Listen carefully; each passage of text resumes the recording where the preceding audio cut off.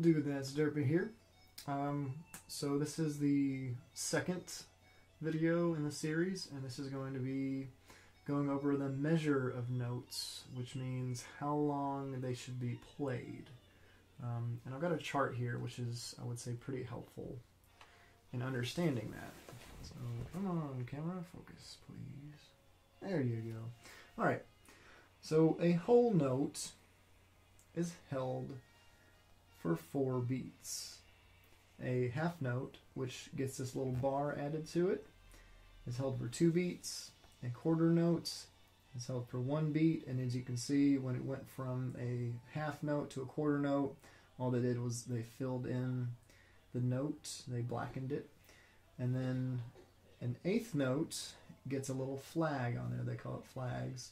Um, between the quarter and the eighth, it gets the flag, and it's held for half of a beat.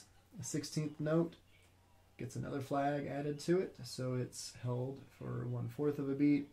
Thirty second note is held for one eighth of a beat, and I believe I, I, I can't remember if there are sixty fourth notes or not, but I believe there are. You just add another flag. Um, you're probably wondering what's a beat? What, what does that mean? Uh, basically, what that means is, and let's get this set up right here. Okay. So, if we were doing it in seconds, a whole note, this here, would be held, let's say, eight seconds. So, one, two, three, four, five, six, seven, eight. Half note would be held for four seconds. Half of eight. One, two, three, four.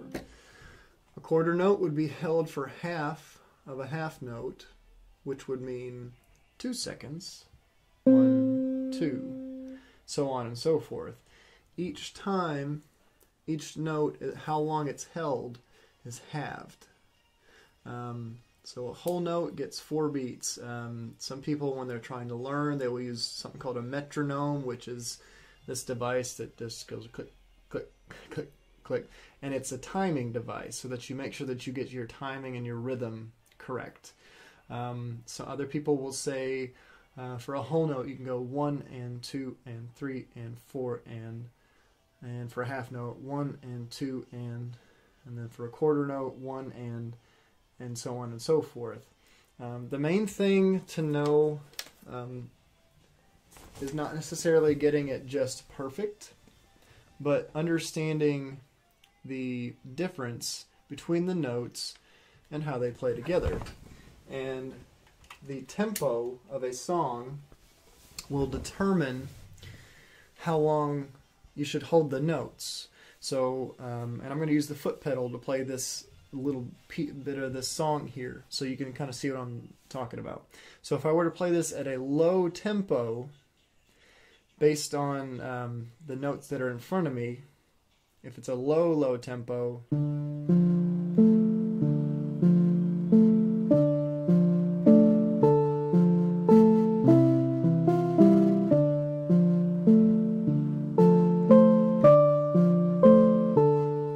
or you can speed up the tempo, but the measure of the notes or how long that they're held for is going to be still relative, but you're not going to hold each one as long. So if I were to speed up the tempo quite a bit, it would be more like.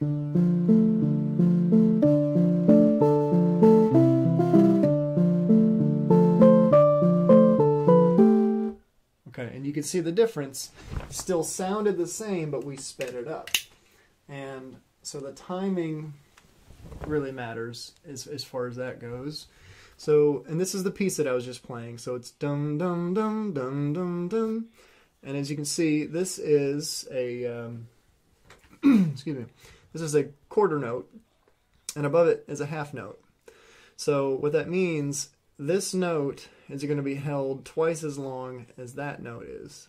So essentially, while I'm holding this note with the right hand, I can play two of these notes in the amount of time that it takes me to hold that note.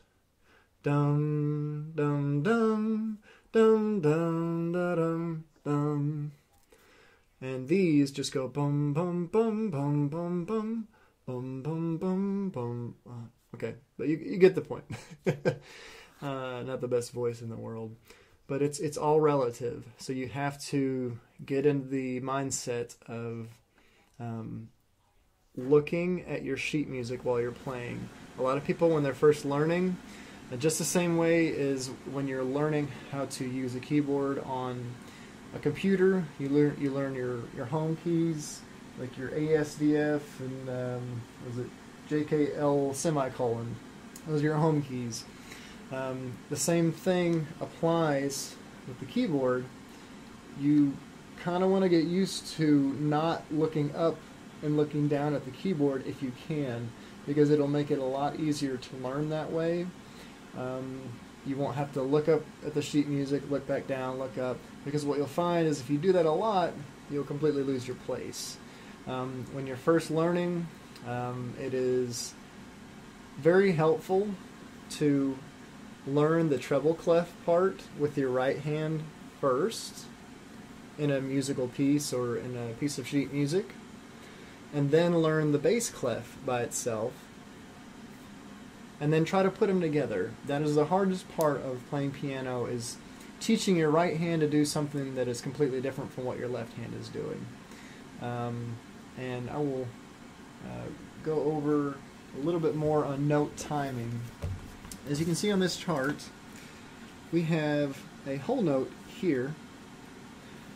Over here is a whole note that has a dot next to it. What that dot means is that this whole note is now held for a whole note and half of a whole note's measure. So if you could for example, if this whole note was to be held for 8 seconds, this note would be held for 12. If this half note was to be held for 4 seconds, this half, dotted half note would be held for 6 seconds, so on and so forth. So the dot adds um, half of the measure of the note.